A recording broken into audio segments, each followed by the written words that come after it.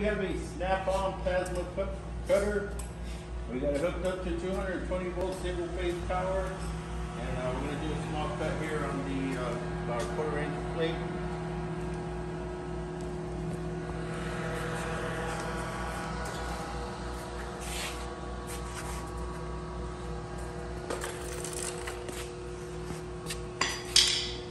Okay, so this is your plasma gun right here.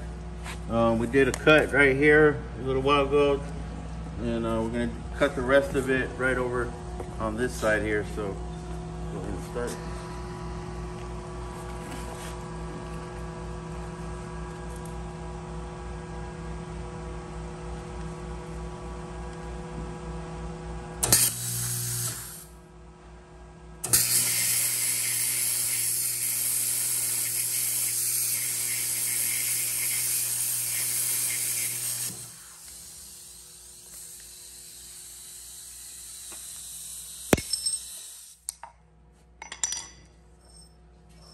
See the cut right there?